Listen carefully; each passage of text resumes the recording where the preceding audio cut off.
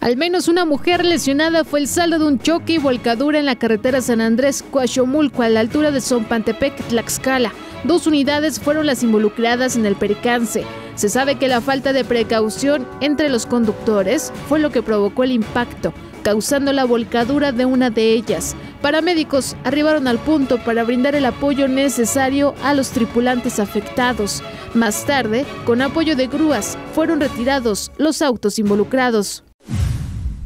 Un motociclista resultó con severas lesiones tras derrapar su motocicleta cuando circulaba sobre la carretera Pisaco-Tlaxcala, a la altura del municipio de Apetatitlán de Antonio Carvajal en Tlaxcala.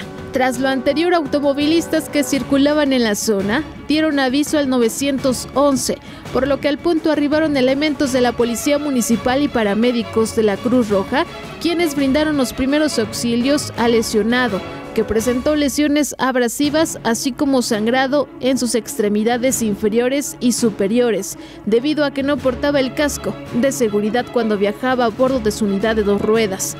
Finalmente, el joven de aproximadamente 25 años de edad tuvo que ser trasladado a un hospital para su atención médica especializada.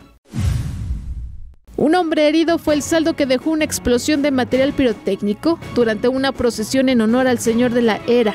Los hechos sucedieron en la zona de Villa Alta, en el municipio de Tepetitla, perteneciente a Tlaxcala. De acuerdo con testigos, el hombre identificado como José N. se encontraba bajo los influjos del alcohol, por lo que al encender un cohete de arranque no pudo hacerlo de la forma correcta y terminó por explotarle en la mano, provocándole lesiones de consideración.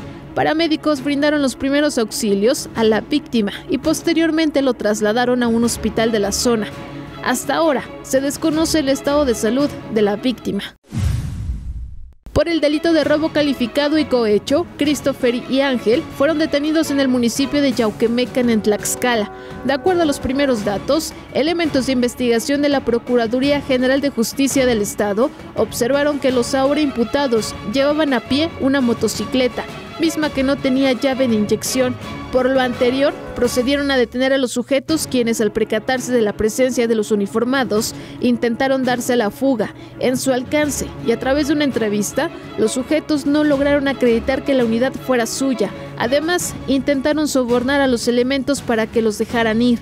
Con lo anterior, los dos jóvenes fueron puestos a disposición del Ministerio Público, así como la motocicleta que de acuerdo a la unidad de estatus vehicular contaba con reporte de robo vigente en el Estado de México. Informó para Noti 13 Pamela Muñoz.